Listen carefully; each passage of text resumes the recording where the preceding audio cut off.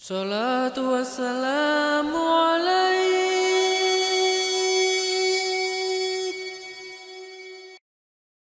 يا إمام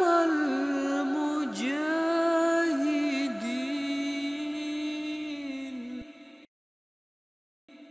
يا رسول الله Nah, iya, iblis ini makhluk Allah dari jenis bangsa jin, ya. Dan dia komandannya yang ingkar kepada Allah. Dan dia punya pengalaman beriman kepada Allah. Bahkan bersama-sama malaikat selalu memuji Allah, membesarkan Allah, ya di langit pada saat itu, masya Allah. Ini luar biasa. Itu iblis, ya. Wa kana minal jin. Allah katakan dan iblis ini termasuk jenis dari bangsa jin. Jadi jangan salah faham. Iblis bukan dari malaikat ya. Bukan golongan malaikat, tapi dia golongan bangsa jin. Adapun syaitan itu apa? Syaitan ini nanti ada dua pembagiannya.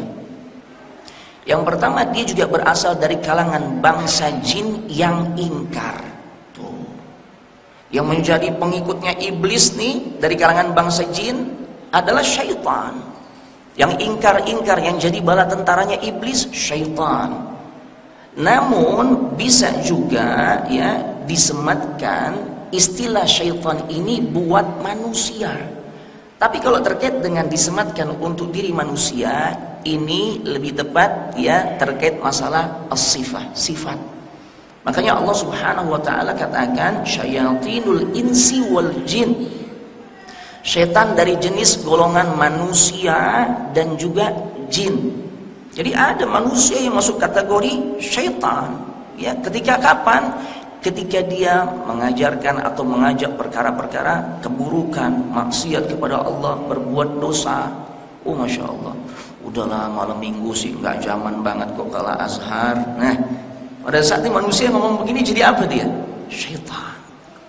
Adapun jin ya, ini makhluk Allah yang Allah ciptakan sifatnya gaib nggak kasat mata. Jadi nggak ada satu manusia pun kecuali makhluk-makhluk Allah yang Allah kehendaki dia bisa melihat seperti para nabi dan rasul bisa melihat wujud bangsa jin dalam bentuk aslinya.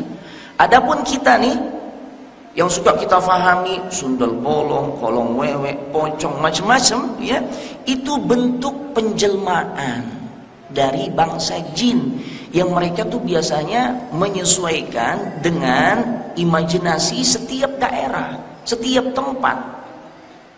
Orang Indonesia takutnya sama pocong, ya. Ada suara kresek-kresek takut pocong, ya. Sundel bolong, macam-macam tuh sebutannya. Tapi coba ke Eropa, ya, jin-jin yang melakukan penjelmaan, ya nggak ada pocong, nggak ada sundel bolong, apa di sana? Dracula, vampir, tuh ya. Ada juga orang bilang zombie ya. Tapi sebenarnya zombie ini pahlawan nih. Pahlawan muslim jemaah. Inilah kafir tuh dengan berbagai cara dia coba ya jadikan tokoh-tokoh yang punya pengaruh di dalam dunia Islam menyebarkan ajaran Islam ini dai yang ada di wilayah Amerika Latin khususnya di Brazil yang sangat sukses di dalam dakwah menyebarkan ajaran Islam Ya, makanya orang-orang kafir nggak senang dibuatlah image yang buruk zombie itu, ya mayat hidup yang jalannya loncat-loncat. Ya.